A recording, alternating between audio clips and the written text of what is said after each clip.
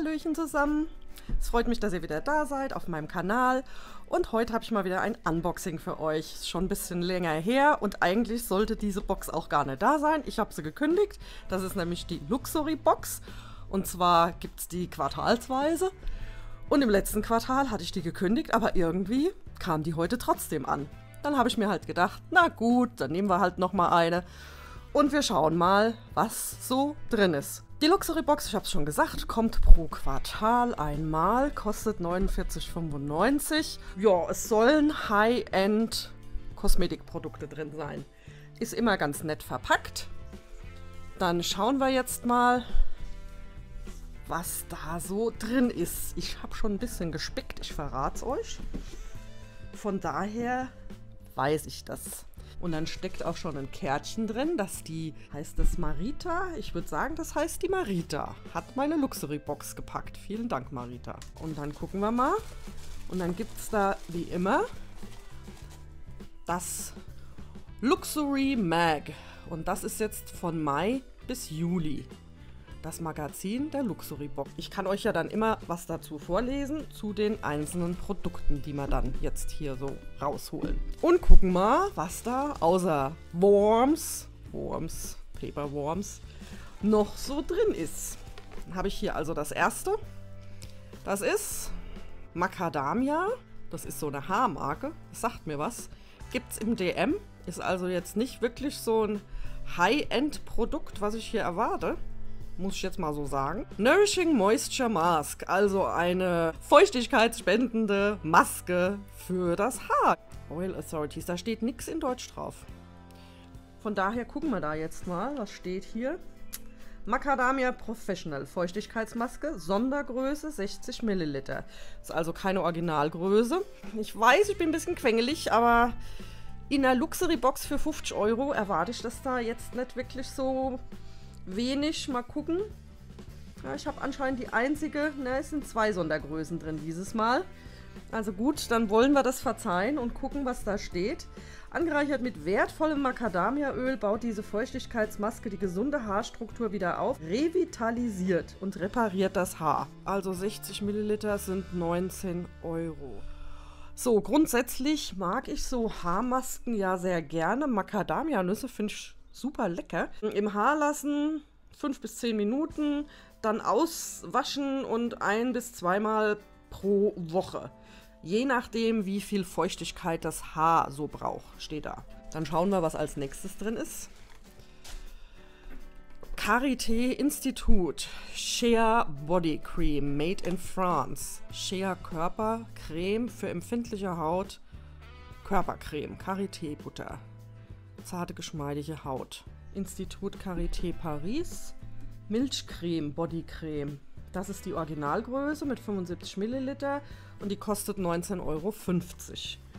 Ich schnupper da mal dran. Oh, das ist so eine Tube, das erinnert mich total an L'Occitane. Ne, aber das ist was anderes, glaube ich. Also kurz riechen. Uah. Au!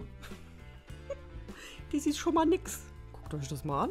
Dann mache ich mir die ganzen Finger kaputt. Muss ich die mit dem Schraubenzieher aufmachen oder was? Das darf ja wohl nicht wahr sein.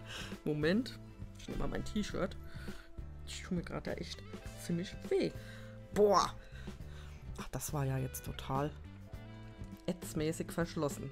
Riecht nach nix. Nicht wirklich. Ich greife da auch nicht ran. Ich schnupper nur. Weil das ist sowas. Ich habe jede Menge Body Butter Kram noch vom November, als ich in Amerika gekauft habe. Deshalb wird das auf alle Fälle verschenkt. Es kommen jetzt demnächst so einige Geburtstage auf mich zu. Da ist das passend. Da steht dann angereichert mit 25% Shea Butter sowie zart parfümiert, hab ich nichts gerochen, mit Milchcreme. Versorgt die Milchcreme ihre Haut mit reichhaltiger Feuchtigkeit. Dank ihrer schmelzenden und zugleich nicht fettenden Konsistenz dringt sie schnell ein und sorgt für eine samtweiche Haut. Okay. Nächstes. Ah ja, das ist dieses Teil. okay. Dr. Severin Body Aftershave Barn for Women. Mit, Achtung jetzt, Hamamelis, Menthol und Rosmarin. Also so richtig kräuterig, äh, kräuteriges Aftershave. Auch hier vorne steht es auf Deutsch. Schöne, sanfte und glatte Haut nach dem Rasieren, Wachsen, Epilieren. Also, ich epiliere, aber ich brauche da echt keinen Aftershave-Balm. Regelmäßig auftragen und einziehen lassen. Bei Bedarf anschließend kurz abspülen. Hilft die Haut zu beruhigen und Rötungen, Reizungen von Poren vorzubeugen. Dieses Teil ist eine Originalgröße mit 200 Milliliter und kostet 33,10 Euro. Und ich gucke hier auf den Zettel, das ist das teuerste Ding in dieser Luxury-Box. Ein Aftershave Balm. Leute, nee, ne? Meiner Meinung nach geht es gar nicht. Da gibt es jetzt bestimmt Frauen, die finden es total geil, aber ich nicht. Ich erwarte einfach was anderes. Aber mein Mann freut sich da bestimmt, weil das Ding riecht ja total kräuterisch. So, wir gucken mal wie das riecht. Das mache ich halt also auf, weil ich habe da schon beschlossen, als ich das gesehen habe, dass das da drin ist. Ich habe ja, wie gesagt, schon gespickt. Bei Facebook, die Leute, die können ja immer nicht im Mund halten. Die müssen das dann sofort posten. Ah, das und das und das ist alles drin. Ich wollte es halt wissen. Und da habe ich halt mal geguckt, weil ansonsten hätte ich das Ding zurückgeschickt, wenn nichts drin gewesen wäre, was mich interessiert hätte. Und hätte gesagt, ich habe aber gekündigt. So sage ich halt, naja, gut. Jetzt schnuffeln wir da mal und gucken mal, wie sowas aussieht. Es sieht aus wie eine Schuhcreme, die ich habe. Die hat so einen komischen. Oh Gott. Es riecht nach Husten. Äh, Big, Big Medi-Night. Diesen Balsam, den man sich so auf die Dings schmiert. Leute, echt, ein Parfüm macht man da rein. Aber ein Aftershave-Balsam, also nee, oder? Ja, es riecht total männlich. Das ist eindeutig, nee, For Woman. Wer hat gesagt, dass das For Woman ist? So, ich hau mir das hier jetzt, was hier rüber geblubbert ist. Das ist so ein Gel. Es riecht extrem nach Rosmarin. Gut, ich mag Rosmarin, aber trotzdem. Nee, oder? Dann muss mein Mann jetzt mal dann riechen. Und dann kriegt der ein Aftershave. Hat er auch noch nicht gehabt. Für über 30 Euro. Jetzt schmieren wir das mal so. Ja, es riecht oh, heftig. Was ist das? Menthol. Kühlt natürlich dann. Also es ist ein Gel, es bappt nicht, es zieht gut ein und so. Seht ihr das? Das eiert hier oben drauf rum, ich krieg's nicht mehr drauf. Jetzt kommt da noch mehr rausgeglitscht. Okay, ich mach das jetzt so. Passt der Deckel da jetzt so drauf? Frankfurt am Main und der Dr. Severin ist eine Markenname und keine natürliche Person. Okay. Dann haben wir hier ein Täschchen, ein kleines, ein Winzlingstäschchen von den Lokis. Ich würde mal sagen, das soll so eine Kosmetiktasche sein. Sowas hatte ich auch schon mal in der Gala-Box. War das nicht in der Gala-Box, wo ich so eins hatte von Loki? Zu Weihnachten, meine ich, war das. Oder war es die Du-Box? Eins von beiden. Also so sieht's aus. Finde ich vom Design her nicht schlecht. Ich habe aber auch schon wieder jede Menge von diesen Teilen. Also das wandert auch in irgendein Geschenk oder Giveaway. Das Täschchen, was schreiben die, was das wert ist? Steht hier gar nicht drauf. Das gehört also nicht zu den normalen Sachen, die da mit drin sind in der Luxury Box. Ich habe aber gespeckt bei Douglas, weil ich weiß, dass die die verkaufen. Und da kostet so ein Dreier-Set 15 Euro. Naja, die, das ist aber die größte Größe. Also ich würde mal sagen, wenn wir großzügig sind, kostet das Ding 8 Euro. Haben wir also unser Täschchen. Was haben wir noch? Hier haben wir ein Lip Twist Lip Pencil Lippenstift von Etre Bell. Der hat die Farbe 10809. Wenn das so eine Farbe ist, wie das so aussieht, ist der recht hübsch. Originalgröße 15,30 Euro. Cremig, luxuriöse Textur, unwiderstehliche Farben, ultrafeminine Ausdruckskraft. Lip Twist Pencil vereint Lippenkontur und Lippenstift zum idealen Begleiter für sinnlich schöne Lippen. Und das ist von der Farbe her jetzt doch ein bisschen anders sieht es aus als hier hinten. Und wieder, ich mache hier keinen Swatch, das sieht hier mehr so korallenfarbig aus. Ich habe mir auch gerade in den USA Lippenstifte gekauft. Aber den hier, den verschenke ich auch gerne. Da habe ich auch schon jemanden im Hinterköpfchen, der den bekommt. Was haben wir denn da? Ach, das kenne ich. Das hatte ich schon mal. Hyapur Berlin. Pures Hyaluronserum. Das ist so ein kleines Furzelteil. 3,5 Milliliter Sondergröße. Hyaluronserum mit Silberpartikeln hatte ich in der Galabox. Habe ich schon gesagt, dass ich die Galabox vermisse? Ich fand die echt gut. Ich weiß nicht, warum die die eingestellt haben. Dieses kleine Futzelding kostet 19 Euro. Ich habe es benutzt. Ja, sehe ich 30 Jahre jünger aus? Nicht wirklich. Das ist aber auch was, werde ich weitergeben. Ja, es gibt viele Geburtstage und ja, vielleicht nützt es ja bei anderen Leuten. so, was haben wir jetzt? Ah, das ist aber was für mich, Leute, nicht wahr? Das seht ihr doch schon gleich. OPI, She's a Bad Muffaletta. Muffaletta. She's a Bad Muffaletta. Das ist aus der New Orleans Serie, die kam im Frühjahr raus. Das ist also ein richtig schönes, ich würde mal sagen, Pink-Rot-Gemisch. das ist so eine Spezialfarbe. OPI habe ich jetzt nicht so viel, weil die sind in Deutschland doch recht teuer. Die schreiben hier 16 Euro. In den Staaten kriegt man die OPI so für 10 Dollar. 15 Milliliter hat der. Die schreiben hier mit dem intensiven Rot. Also ich würde es jetzt nicht als wirklich ein intensives Rot bezeichnen. Für mich ist das mehr so ein Pinkrot. Wenn sich das hier anschaut, das ist für mich so ein mehr intensives Rot und das hat doch ein bisschen mehr so pink, pinke Untertöne drin. Ich finde es aber schön, mir gefällt es. Intensives Rot, She's a Bad Muffaletta, kann man den tropischen Temperaturen von New Orleans mit einem coolen Look trotzen, schreiben die da. So sieht er aus. Das ist er. Die OPIs, die sind normalerweise auch sehr gut zum Stempeln. Ich habe da also auch einen silberfarbenen, mit dem ich gern stempel. Also da freue ich mich natürlich total drüber. Das wisst ihr ja, Nagellack-Freak hier. Man kann nie genug Nagellack haben, auch wenn man schon 100 im Schrank stehen hat. Was haben wir noch? Alles ein bisschen staubig, das sind aber hier diese Paperworms. Lord und Berry Forever Black Liquid Eyeliner Pen. Lord und Berry, das sagt mir jetzt gar nichts. 21 Euro Originalgröße, handliche Liquid Eyeliner Forever Black Lord und Berry. Angereichert mit konzentrierten Schwarzpigmenten, verspricht ein langanhaltendes, wasserfestes Augenmatt. Nee. wasserfestes Augen-Make-up mit einem matten Finish. Man muss drehen. Da sind 1,7 Milliliter drin da hat man dann hier diesen Pencil. Ich habe es normalerweise auch nicht wirklich so mit Liquid Eyeliner. also von daher. Hm. Was haben wir noch? Haben wir hier noch was von diesem Etrebell? Auch made in Germany, ne? Steht ja drauf.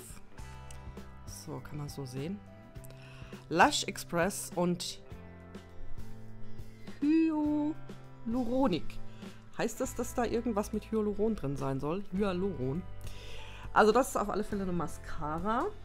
Lash Express Hyaluronic Originalgröße 8,5 Milliliter. Mascara Lash Express von Etrebell überzeugt mit einem gebogenen Maxi Curl Bürstchen. Sorgt für dichte und perfekt geschwungene Wimpern mit ausdrucksstarkem Volumen. Bei Mascaras habe ich immer das Problem, dass ich Waschbäraugen kriege. Fast bei allen. Also da gibt es nicht viele die das nicht machen. Ich hatte jetzt eine von der Cat Von D, das war die super, super, duper 24 Stunden irgendwas Mascara, die war richtig genial. Die habe ich aber im November gekauft und jetzt ist es Mai und ja, ich habe sie echt viel benutzt und so und nach sechs Monaten war sie dann doch dann finito, ne? Weil die Mascaras, die halten ja nicht ganz so lang.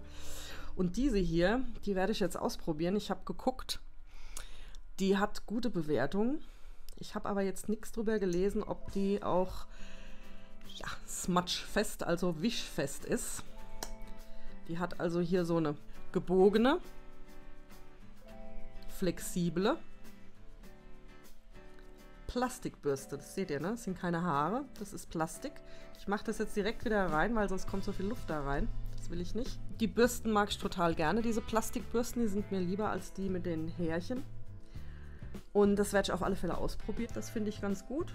Da kann ich mal probieren, ob das wirklich jetzt eine ist, die wirklich tatsächlich was bringt. Und das war's. Kein Golden Ticket. Nee, dieses Mal nicht. Das ist es. Wir haben also jetzt hier, ich lege es euch hier nochmal hin. Oh, das blendet echt, es tut mir leid. So, da bin ich wieder. Ich habe es jetzt also so eingestellt, dass ihr hier lesen könnt, ohne dass es hoffentlich zu sehr blendet. Ihr könnt es auch kurz anhalten. Ich habe in der Zwischenzeit ausgerechnet, was da jetzt drin ist an Wert. Das sind ohne dieses Lopi-Ding, wo wir uns ja so ungefähr, ja, wenn wir großzügig sind, 8 Euro mal ansetzen. Also die Produkte, die hier offiziell drin sind, sind 159,30 Euro. Das ist schon einiges, weil das ist das Dreifache von dem, was man bezahlt, ist da drin. Da kann man nicht meckern, auch wenn man nicht alle Be Produkte selber benutzt, kann man doch vielleicht Freunden, Bekannten oder bei einem Giveaway jemanden eine Freude machen. So mache ich das jedenfalls immer. Diesmal sind keine Gutscheine oder so irgendwas. Anscheinend haben sie das abgesetzt mit dem Gold-Ticket. Da ist nämlich nichts mehr erwähnt. Das war ja ganz nett. Ich sag noch mal grob so yay oder nay. Also, ne? was ich so davon halte, was ich selbst benutzen werde. Also das hier, ganz klar, yay, ne, würde ich selber benutzen. Ich habe aber schon so viele.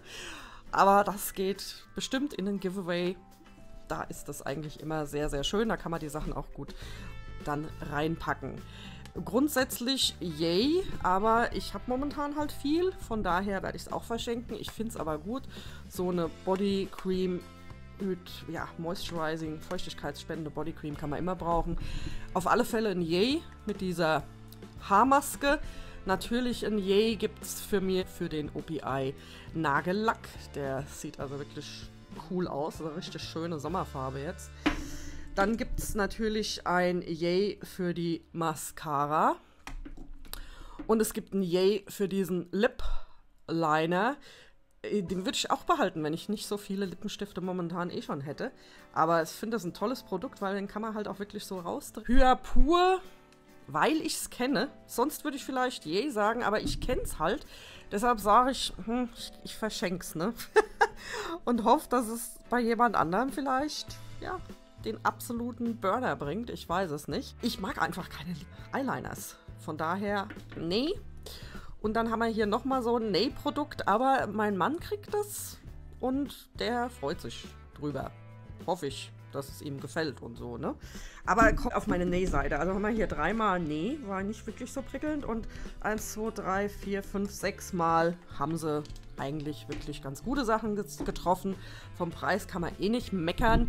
Also die Luxury Box ist da schon eine der besseren Boxen und es gibt sie ja auch nur alle drei Monate. Da kann man dann die 50 Euro, wenn man das teilt durch drei Monate, dann ist das auch okay. Habt ihr auch eine bekommen? Wie hat sie euch gefallen? Was denkt ihr so? Benutzt ihr auch immer alles oder verschenkt ihr auch einfach viel an Freunde, an Bekannte? Lasst es mich wissen in den Kommentaren. Wenn ihr noch nicht abonniert habt, hier oben in der Ecke ist immer so ein kleines Feld. Kostet nichts, ich sag's immer wieder. Gell? Dann bitte abonnieren, weil dann seht ihr mein nächstes Video automatisch hochpoppen in euren Subscriber, Subscriberlisten. Und da würde ich mich freuen, wenn wir uns da wiedersehen. Ansonsten wünsche ich euch ein wunderschönes Wochenende, wo immer ihr seid. Vielen Dank fürs Zuschauen und tada, bis zum nächsten Mal.